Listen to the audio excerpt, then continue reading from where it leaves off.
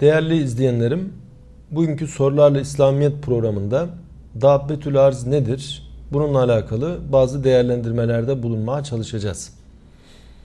Peygamberimiz Aleyhisselatü Vesselam kıyametin bazı alametlerinden söz ederken bunlar arasında Dabbetül Arz'ı da sayar.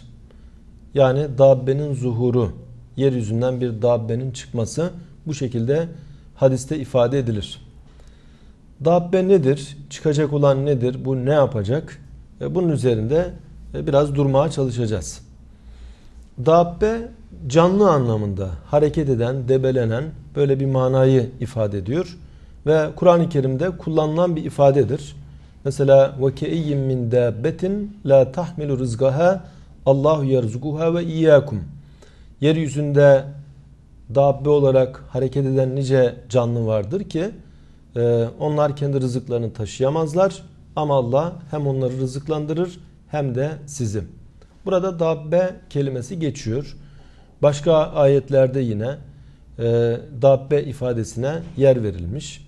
Hazreti Süleyman'la alakalı bir olay anlatılırken dabbetül art, e, arz dabbesi diye bir nevi bir ağaç kurduğundan söz ediliyor. Ve e, bütün bunları değerlendirdiğimizde dabbeyi canlı, hareket eden varlık bu manada anlamak mümkün.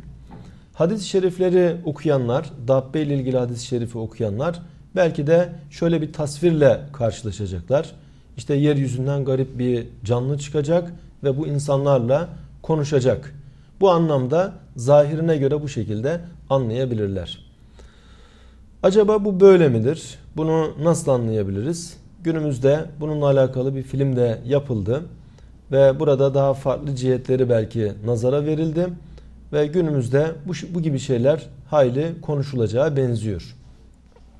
En azından ben şunu ifade edebilirim. Ahir zamanda daha önce de görülmeyen nice dabbeler zuhur etti. İşte bunlardan bir tanesi diyelim trendir.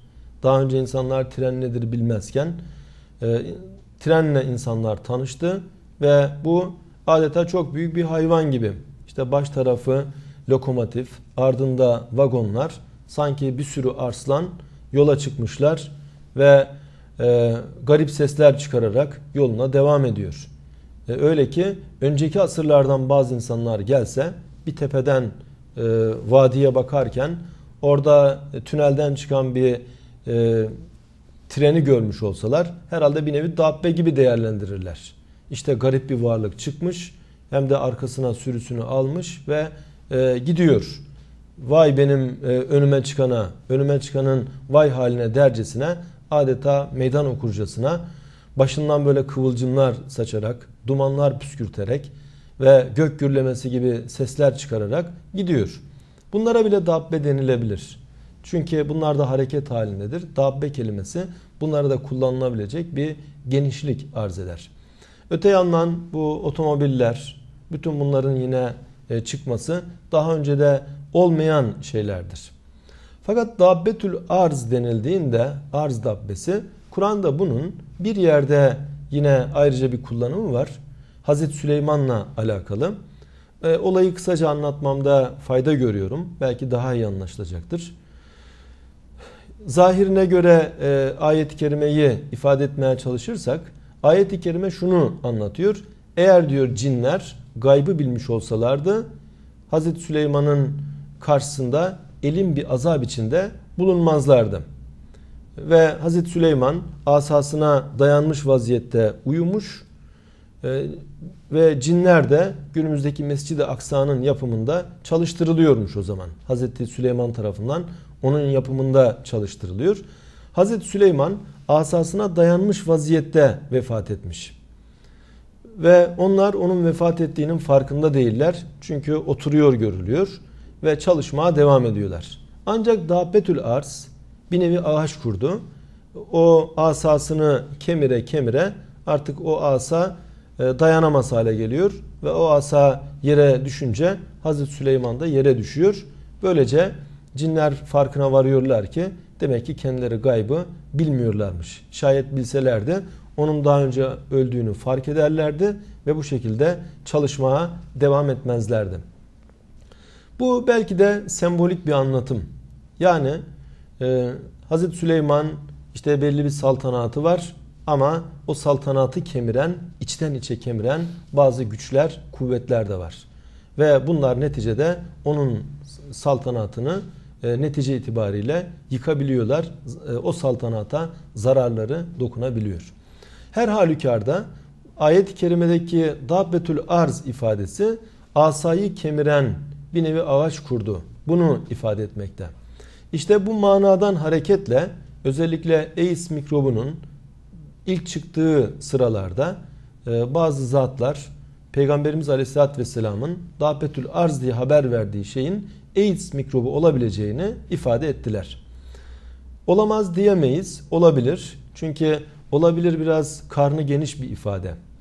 O olmayabiliri de içine alıyor. Ben değerli bir hocamıza bir ara sormuştum. Demiştim ki hocam Sokrat e, peygamber olabilir mi? E, öyle söyleyenler var dedim. O da olabilir dedi. Sordum nasıl olabilir? Cevaben şunu söyledi. Olabilir, olabilirin karnı o kadar geniş ki olmayabiliri de içine alır. Olabilir demek illa o öyle olmuştur anlamında değil. Yani Sokrat Allah'a inanan bir insan ve büyük bir düşünür. Peygamber olması mümkün müdür? Mümkündür. Ama mümkündür demek o peygamberdir anlamında değil.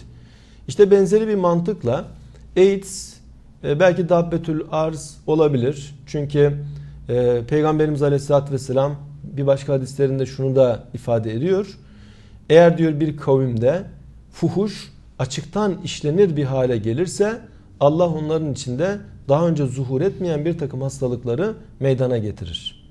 İşte AIDS bu şekilde gayrimeşru beraberliklere bir ceza olarak Allahu Teala'nın bir nevi dabbesidir ve nasıl ki e, Hazreti Süleyman'ın asasına musallat olan o dabbe onun asasını kemir, kemirdi ve neticede o düştü. E, bu AIDS mikrobu da bir kısım insanlara e, arız oluyor ve onun vücudunu adeta kemiriyor ve bitiriyor. Bu açıdan AIDS dabbetül arzdan bir mana olabilir insanın hatırına geliyor. Ama dabbetül arz AIDS mikrobudur desek bu yanlış olur. Çünkü daha neler çıkacak bilemiyoruz. Bu açıdan baktığımızda e, konuda bir derece bir müphemlik var. Bir derece bir belirsizlik var. Ve belki de belirsizlik olması esas olmuş. Bu gibi çok şeylere işaret olması için ayrıntılı bir bilgi verilmemiş. Ve insanlar e, ömrün geçişi e, süresi içinde gerçekten çok yeni yeni şeylerin çıkışına e, muhatap olabiliyorlar. Normal bizlerin yaşamış olduğu zaman diliminde bile şu dünyada çok şeyler değişti. Devamlı yeni yeni şeyler de ortaya çıkıyor. İşte dabbetül arz denildiğinde bu da özellikle inanmayanlara bir ceza olarak onları cezalandıracak bir canlı veya hareket halinde bir varlık bu şekilde anlaşılması mümkün. Günümüzde bunu başka şekillerde de tevil edenler, meselenin başka yönlerine dikkat çekenler de oluyor. Bu gibi meselelerde herhalde şu ölçü göz ardı edilmemesi gerekir. Bundan murat bu olabilir denilebilir ama illa bu budur diyecek olursak orada haddimizi aşmış oluruz.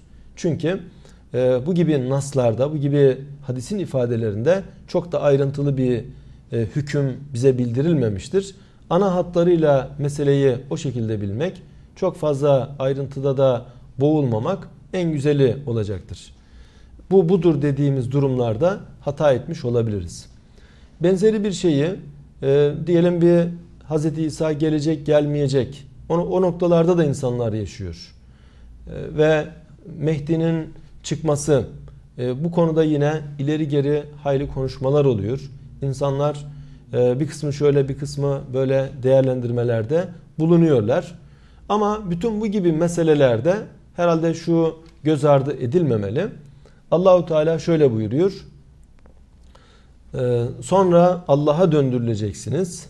Feyunebbiukum bima kuntum fihi tahtelifun ve Allah size daha önce hakkında ihtilaf etmiş olduğunuz şeyleri tek tek haber verecek. Demek ki bizler bu dünyada bunlardan murat bu olabilir diye anlamaya çalışacağız. Ama illa bu budur demeyeceğiz. Vel ilmu indallah. Yani ilim, gerçek anlamda ilim Allah katındadır. La ya'lemul gaybe illallah. Gaybı ancak Allah bilir. Ee, bunları söyleyeceğiz. Bize bakan yönüyle de inna zunnu illa zanne ve ma nahnu bi müsteyginin. Biz ancak bir zan içindeyiz. Kesin olarak bundan muradın ne olduğunu tam da bilemiyoruz. Bunu itiraf etmek durumunda kalacağız. Çünkü gerçek ilim Allah katındadır. Gaybı bilen de ancak odur. Bir başka programda görüşmek ümidiyle hayırlı günler diliyorum.